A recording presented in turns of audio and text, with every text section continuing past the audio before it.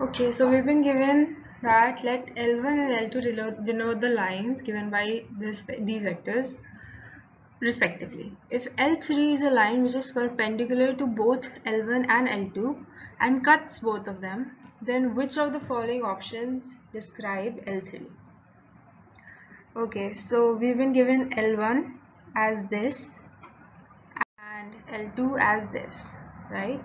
Now, since we've been given that L3 is perpendicular to both L1 and L2, we have L3 is equal to L1 cross L2. This will give us the directional vector, directional ratios of our L3. So we'll find the determinant, um, so we'll find the cross product of L1 and L2 by taking the determinant and finally we'll get the uh, directional ratios for L3 as 6i plus 6j minus 6k minus 3k cap now we need to find, let's say for example that these are the lines L1 and L2 and this is the L3 vector which is perpendicular to them both. Alright.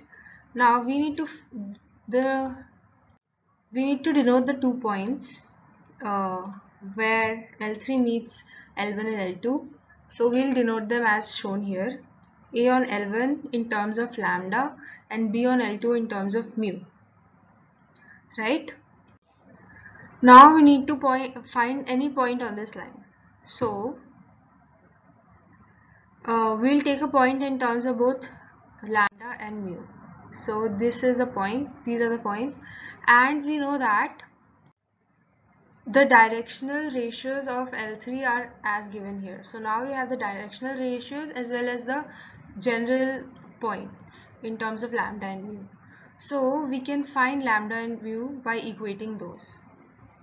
So finally we'll have lambda is equal to 1 by 9 and mu is equal to 2 by 9. So substituting these in A and B we get A is equal to 8 by 9 comma 2 by 9 comma 2 by 9 and B is equal to 4 by 9 comma minus 2 by 9 comma 4 by 9. Now now let's use point A to find uh, L3 so we can have L3 as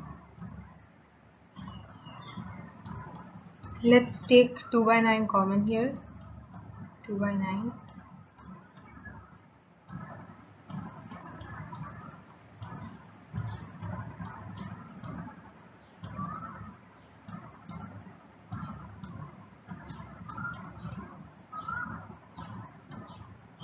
So when we take 2 by 9 inside, we'll get A. We'll get the point A, right? And also, let's add the direction. So